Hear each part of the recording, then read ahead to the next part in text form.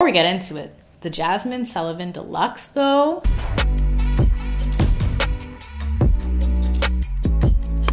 Hey loves, it's A back on your screen with another one. Hope you're all well. Since Love Day is a few days away and it's Saturday, I figured Saturday story time. Let's talk about all the times I got in the mix, in the mess of it all during Valentine's Day.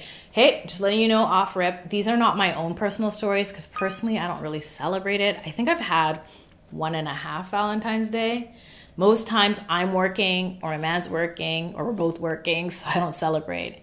And I think the one time we are both off, we're like, okay, not really worth the hype. But that's just me. So if you like it, I love it. I hope that you guys have an amazing Valentine's Day weekend. And let's get into it. This is gonna be like a story time work part two video since most of these stories happen while at work. Whether you're in retail or restaurants, you got tales on tales, you already know. So, this first story is when I worked at a lingerie store.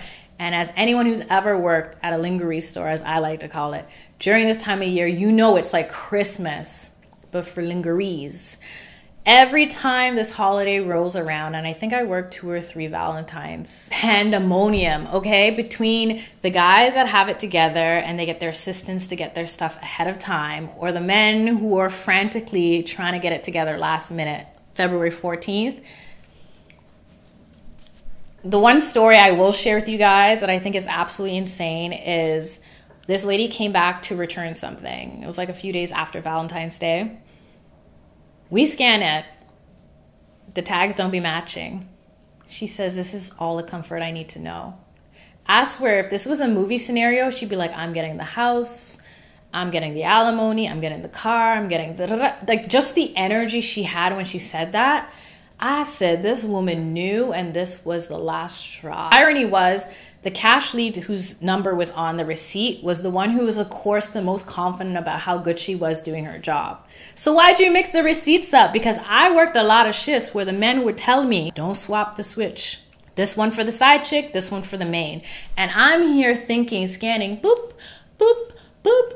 Why are you so confident and comfortable telling me? You know, this city is big, but there's still six degrees of separation. For all you know, though, or maybe they do know. But it was just weird to me because it'd always be the same thing. And I'm telling you guys, the week leading up to Valentine's Day and Valentine's Day, tons of men would come into the store. I would say it was 50 50, which is why it's so shocking. So some guys would come and just buy one thing. Okay, you got one girl, or maybe you're coming in tomorrow to buy for the next girl. But a lot of guys, the other half, would come and buy for both chicks at the same time they would ask for two boxes, two gift receipts, and it was always, oh, the sexy slinky ish for the side and the mommy looking issues for the main. And I just felt like secondhand disrespect though, because the energy you're giving to the side, shouldn't you give to the one that you're married to? I don't know. I'm not judging. I just want to know. Like, if I could put on my glasses and do a research study on this, I would, because I find it so interesting. I just every single time it was always the sexiest thing they could find for whoever they had on the side and then for their wife or their girlfriend it was the pajama fleece set the disrespect the disrespect you know what else is disrespectful side chick day and we're going to talk about that more when i get to the restaurant side of things but sticking with retail side chick day is synonymous with return the issue just used last night today. And these women had no shame because it smelt like, let's keep it PG because this is YouTube. But also, when you have remnants and remains, need I say no more? Why are you fixing yourself to fight with me in the store? And because the company I worked for was the customer is always right, I just learned these were battles I wasn't willing to fight. So we'd accept it, the manager would cut it, and I'm just like, the mess of it all, the disgust of it all, the unhygienic of it all. I would literally take a tissue, pick up the panty with remnants on it, and then put it in the damages bin, thinking like, why we're giving the money back for something they clearly used.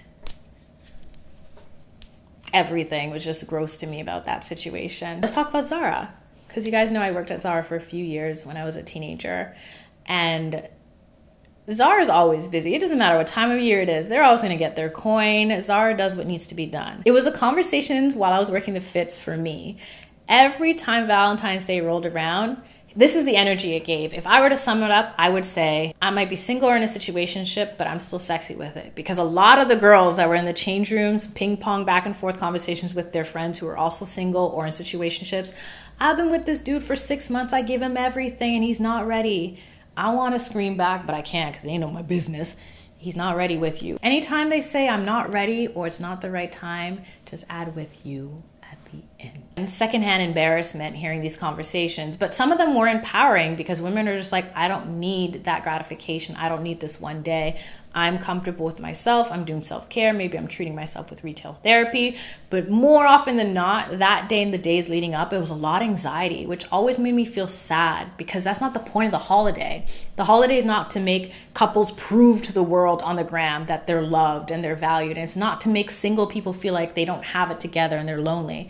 And I always got that vibe from the conversations I heard while people were shopping for clothes, either to boost their mood or boost their look.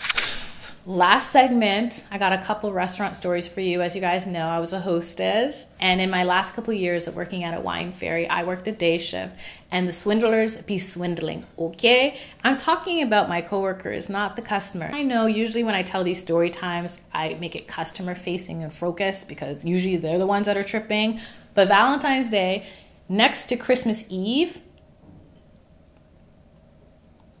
the coworkers be swindling the situation. I overheard my coworkers say to my manager, not knowing that I can hear that well, "Oh, well, Alisha's single anyways, or she doesn't she doesn't celebrate with her boyfriend, so why don't you make her work it?"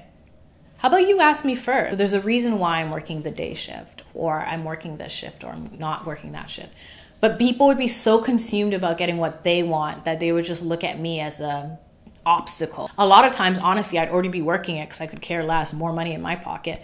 But it was just funny to see how particularly girls more than guys would try to swindle their way to get it off. I had people try to pay me, people threaten me. I just said, is it that serious? I've seen chicks cry in the break room because they couldn't get the time off. And I just,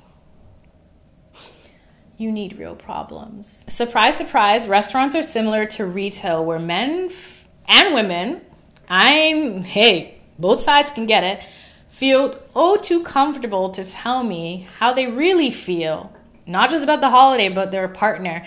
I'd have people complaining when they call in, and I'm thinking, you think this is a free therapy session? Why are you telling me how trifling your woman is or how obnoxious your husband is? Then don't make the reservation. Go to couples therapy. I don't know what to say, but it's just the the I don't even want to say the audacity of people to think it's okay to call me at a restaurant where I'm supposed to be booking last minute reservations and either offer to bring in a table, bring in balloons when we weren't allowed to, offer offer to call reservations to confirm that they're coming on my behalf and I'm like, "No, everyone's confirmed. It's Valentine's Day. There's no one that's not coming unless they're broken up." it's just crazy how insane people get over this one day of the year. In the restaurant world, the hostesses are looked down upon as if we don't do work, and a lot of hostesses ain't it. Trust me, I've trained a lot of them and they don't care. They're just a pretty face at the front of the place. But when you actually do care, you have to have organizational skills on lock. So the hostesses that know know. Doesn't matter if it's a high scale, mid range, or low restaurant, Valentine's Day is go time. And you have to have your ducks in a row because if one table's sitting longer than another, couples are like rich, entitled people. They don't care about the circumstances. They just want what they want and they know what they want and they want it now. And they're not going to stop until they get it. So, making sure Valentine's Day goes off smoothly for your sake and the restaurant's sake is optimal and paramount that day. And I remember one restaurant I worked at, we got to the point where so many people were last minute booking. We had a long table that seats eight. The manager told me, if people are okay with it, tell them they can sit side by side on this long table. I said, I don't know who wants to go on Valentine's Day cafeteria style that desperately because the vibe of that restaurant wasn't giving cafeteria, it was giving intimacy. But people actually booked it for me, it was more the energy people gave and the conversations they shared about how unhappy they were with their partner, how they felt forced to get into the festivities, or girls being like, I need to go here, I need to do this, I hope he brings flowers because I have to post on the gram. Like, do you hear what you're saying? It's not even about him expressing his love for you or her expressing your love for you. It's that you want to show people that don't care about you on social that this person that should care about you cares about you. Make it make sense. Make it make sense. Did you hear that new Future song? I said this man is trifling. And that is my cue to end and wrap up this episode. Because you know me, I got on a lot of tangents, but all I'm saying is, you know what? I'll share one of my own since I only have one and a half Valentine's stories. So, the one time I went out for Valentine's was really sweet. It didn't feel forced, but if I had my way, I'd go to another day. It feels like VR. Like you're sitting in a restaurant with all these other couples. It just feels so strategically made. I don't know how to. Maybe I'm just weird and I see things this way, but it just felt so structured, so robotic. It just there's nothing natural about it. But it was sweet. If that was given was small but so sentimental and it made me tear up. I think I did actually cry over it because I was just like, wow, I never took in that he could be this kind of way and he put in the effort. And I just thought, oh.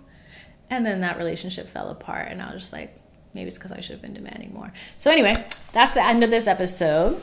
I hope you guys enjoyed this one. If you did, you know what to do. Tap the like, subscribe, and share your stories too. Until next time, stay safe, stay sane, stay blessed. Love and later.